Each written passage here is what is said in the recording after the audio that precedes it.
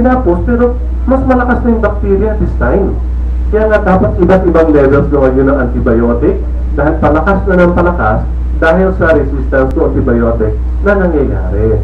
So, kapag meron inirekomenda sa inyo ang doktor, palagi ko po sinasabi, sundin ninyo, tapusin ninyo, huwag niyong kukulangan dahil doktor yan, dalubhasa yan, sampung taon nag-aral yan.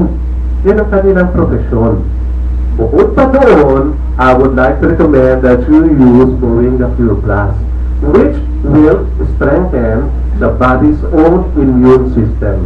Diba? Mahina na nga kanya immune system, kaya yung, yung bacteria niya ang lalakas na. So, pag pinalakas natin ang immune system, hindi lamang yung antibiotic ang lalaban sa kanyang infection, but the, the body's own immune system. But then again, ang sagot ko po sa inyo ay kalahati pa lamang sapagkat kailangan natin malaman ang totoong dahilan kung bakit siya nagkakaroon ng ear infection. Baka naman meron siyang doon o baka meron siya, this might be a symptom of a more, uh, complicated problem. Okay? So, kung magpunta po siya, pwede magpunta siya sa ibang doktor na masuri siya ng mabuti. Oo. Second opinion, sabi niya sa, Dok, Dok, tayo second opinion. Sabi niya, oo, pangit ka. Thank you very much, ma'am. Nasagot po ba yun? So, it might be na hindi niya natatapos yung kanyang antibiotic, kaya nagkakaroon ng resistance, kaya pabalik-balik siya sa doktor. No? So, yung, oh, yung i-recommend ni ma'am sa, sa inyo, ma'am, yung sinabi ni Sir Richard na Moringa Pure Plus, which is nakaka-boost ng resistance to fight the bacteria or the infection. How many times a day daw, sir? Alam niyo po, marami nagtitake sa atin ng products with may mega dose kagad, no? Sa three times a day, gano'n. Pero ako po, I would like to go on the safe level, no? Always start with one capsule a day for three consecutive days. Always start with that. Kasi hindi natin alam kung anong reaction ng katawan niya. Although th- these are 100% natural, 100% plant-based, but I would always like to start with one capsule a day for three consecutive days. After that, you may increase it to two capsules a day or three capsules a day. Pero there are some situations na hindi na natin kayang hintayin yun. For example, yung isang stage 4 breast cancer. I think nakita ninyo yung isang picture dyan ng isang pasyente natin na talagang butas yung dito na, no? Hindi mo na pwedeng pasimulan ng one capsule a day for three consecutive days. Baka hindi na siya umabot ng ng so many days after that, ano? So, pwede na natin sisimulan ng maramihan. Pero not, not critical yun eh. To start with one capsule a day. That's what I would suggest. After three days, you may increase. Thank you very much. So, dito naman, sir. Kahapon, nagpagamot ako ah. Natanong ko lang, sir. Ang binayaran ko sa gamot, 1,500. 20 pieces. 20 pieces kasi yung aking bato, napaga. Saka yung aking prostate enlarged. Ang tanong ko ganito, paano makakatulong sa akin yan? Yung sinasabi mong moron, ano? Moringa. Moringa. Pure Plus. Moringa Pure Plus. Ako po 55 na. Ano po pangalan nila? Hernan to, Hernan. Hernan. Ah, Hernan ako kaya na. Maraming salamat sa iyo. Hernan ako, Hernan. Hernan. um, dalawang kanyang uh, problema, sakit sa kidney at siyang kanyang prostate problem. Napakarami po nating testimonials, mga taong hindi natin kilala, mga taong hindi ko man lang nakita kahit kailan, mga taong hindi nga alam kung anong produkto ang kanilang iniinom. May sakit sa prostate. Alam niyo itong kwento ng isang ah, mag-asawa taga Los Baños? Ano na, mga 55, 60 years old yung lalaki. Yung babae naman, head ng, ah, ng, ah, sa, ano, bibi, sa, ano, sa parang, na, na plants eh. Plant, uh, Africa. Bureau of Plants yata, something, ano. May lumapit sa kanila, isang distributor natin sa Laguna, binibigyan siya ng sample, 5 capsules of 5 yun. Eh yung lalaki, 3 years lang nagsasuffer sa prostate. Hirap na hirap umihi, Di ba? Ihi ng ihi dahil hindi maubos ang ihi. Pag umihi, hirap na hirap umihi. Three years na siya nagsasuffer. Here comes a lady, nagbebenta ng 5 euro. Sabi, ito muna, limang capsules sample. Sabi niya, gawin mo na 10, babayaran ko na. for the first time in three years, nakaihi ng maluwalhati, walang sakit yung lalaki. After 10 days, no? Grabe at sa dami na ng food supplements at gamot na binigay sa kanya, wala siyang relief na nakuha. After 10 days, hindi bumalik yung distributor. At hindi na nila alam nung mag-asawa, saan hahanapin. At hindi nila alam yung address kasi wala namang bote. Kasi 10 capsules lang at nakasupot lang. Ini-research na lang na research online yung Picure. Ang hirap hanapin. Okay? Ang hirap hanapin. In the meantime, bumalik siya yung lalaki sa dating gamot na iniinom niya. 1,500, di ba? 20 capsules lang, the 75 pesos per capsule. Grabe, napakamahal ano? So, bumalik uli siya sa gamot ng gano'n at bumalik uli yung kanyang sakit na nararamdaman, hirap na hirap humingi. Habang nire-research na nilang mag-asawa na kanilang anak saan makakabili ng Picure. Hanggang nakita nila ang ating address at lumawas hanggang dito at hinanap ang ating office naglakad-lakad sa, Ro- sa Ortigas. Kasabi, hi, salamat, may Picure na ulit ako. So on the spot, nag-distributor siya and he started sharing Picure to his other friends that nagsasuffer na prostate enlargement at ano nangyari, nagsa-testimony siya at ma- masayang masaya siya sa naging epekto ng Picure. That is just one of the so many testimonies we have about uh, paano nakakatulong ang Picure panlaban sa prostate enlargement. May kidney problem din.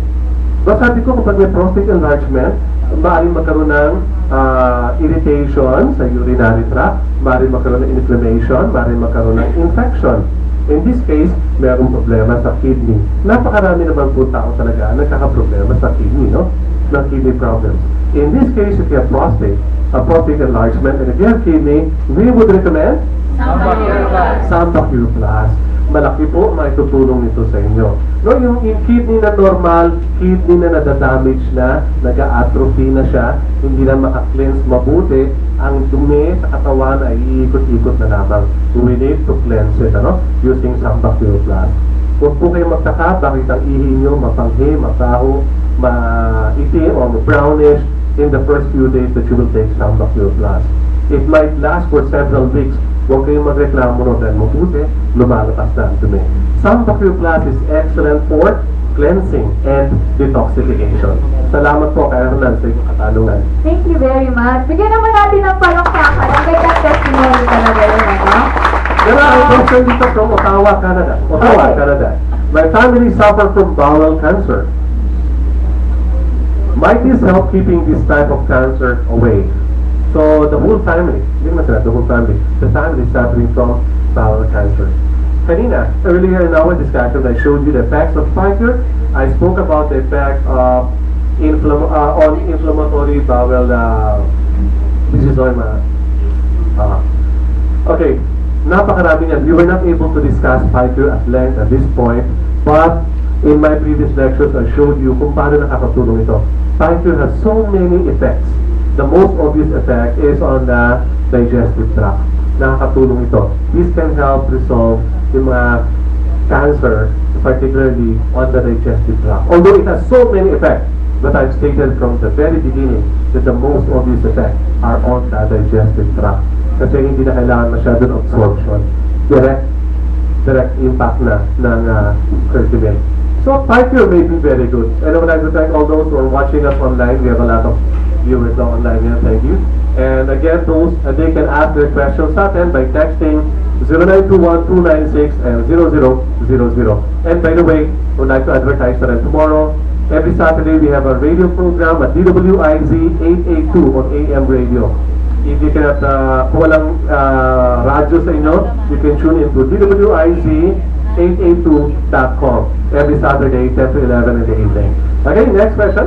And I think we're going down to last two or three Last questions. two or three questions. Sige, dito po si Ma'am Janet, tapos si Ma'am, and then si Sir TJ. Okay?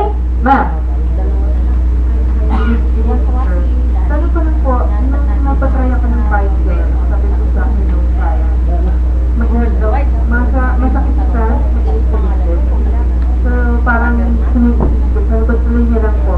Pero meron po akong pinatay na isa, tampak doon. Sabi po nung si Lola, para daw po siyang sinasakal. Tapos nag-conflict daw po siya. Ah, hindi ko alam kung paano ko i-explain kasi hindi ko galing yung effect sa akin. Okay, uh, yung nag-take ng isa na mainit ang katawan niya, that's normal. Sino ba sa atin dito nag-take ng Pure at ang feeling ay para nag-iinit ang katawan? Sige pa, gusto ko malaman. Lahat po tayo! Bakit? It contains piperine, which induces thermogenesis or the production of body heat. Normal yun. And when we produce body heat, may isang naitutulong yun, which is the utilization of the lipids or reduction in fats. Isang, isang tulong po yun ng piperine. At nag, nag, nag, na, napapabilis ang ating metabolism. Kaya nga, it increases the bioavailability of several products o ng, at ng several compounds like curcumin dahil ginigising niya yung katawan natin. Umiinit talaga, parang bumukuhit na nga siya. So, huwag siya matakot dyan. Yun, halimbawa, masakit sa tiyan niya, no? Uh, we would suggest talaga before meals. Pero kung masakit sa tiyan niya, you can even take this with meals or even after meals. O siya pala, no? Huwag siya matakot doon. Normal yung kita mo, halos lahat ng kasama natin dito, nagtaas ng kamay, nakaramdam ng umiinit. Kanina, nag-take ako niyan, pagising siya umaga, wala pa akong meals, tubig lang siya nabay ko. Lalo pa rin yung init na yun. And I've been taking this for one and a half years. But I simply enjoy the feeling. Nag-enjoy na ba kayo noon? Yes. Oo, gumugulit. Parang nagigising ako ng todo. Isa naman nag-take ng Santa Pure Plus. How long siya nag-take nito? Five days. At siya ay nagka-constipate. No? How about the water intake there? Mhm. Alam niyo po, ang ating Santa Pure Plus and even Moringa Pure Plus contains a lot of fat fibers. No? Maraming fibers siya. Which would require a lot of water. So fiber plus a lot of water would help in the cleansing and detoxification. So walang pinakaiba yan sa naglaba ka, ang very effective ang sabon mo. Pero kailangan din natin ng tubig para babantawan. So, mag-detoxify, mag-cleanse ang Santa Pure Plus. Pero kailangan niya ng maraming tubig so that it will be able to do its job. Otherwise, yung fiber, magtatara lang din siya doon. So, kailangan niya ng tubig na. I would suggest huwag siya matakot, uminom lang siya maraming tubig. Okay, thank you very much, Ma'am Jana. So, lahat kami nakaka-relate at lahat nasagot ang katanungan. So, last two questions, sir. Dito naman kay Ma'am. Ah, Good afternoon po. Sir, hindi daw po makapasok dito sa ano natin yung number na binigay ninyo. Ah, nag-check na lang sa akin. Ako na lang daw mag, ano, nan- nanonood po sila. Ah, madam, ah, tawag po siya ng congressman. Ah, makakatulong ba daw po ang muring doctor nun anak niya? na Nasa stage 1 pa lang po lupoma daw po. Ano sa kaya? Lupoma daw po. Nakakumuda na po. 1, glaucoma. Mhm. I would like to go back to one slide that see. Slide number 7, I think. Go up. Doon sa simulan-simulan ng Molino Rivera. Go up. Uh, lower, lower, lower, lower. Uh, lower. Ah, no, no, this one, this one. Yes, that's it. Okay, show it please. Morning go, Rivera. Can it, can it help glaucoma? Diba? Ano ba yun? Nagkakaroon ng pressure sa eye, masakit na masyado, di ba? Nagkakaroon ng pressure doon. It provides nourishment to the eyes. Number two, meron itong Picure, which has anti-inflammatory effect. So, namamaga ang mata niya, may pressure doon, kailangan suportahan natin ang kanyang mata, plus, overall, papalakasin natin ang kanyang immune system. So, makakatulong ba ang Moringa Pure Plus of glaucoma? Yes! Okay, thank you so much for that question. Thank you! So, last question naman Last question from TJ. From TJ. Sir, ito, ah, last question ah, from our one of the. Sabi niya, ang baby kasi hindi nakakapag-intake ng toxoform. Pero kasi daw po ang baby niya is may bukol daw po sa likod. Is it possible daw po ba na siya ang uminom ng mga products ng the global leader and then breastfeed para ma-transfer? Excellent. I agree. That's very, very good. Alam niyo po, nagtanong sila, no? What is the minimum age for a child to take Moringa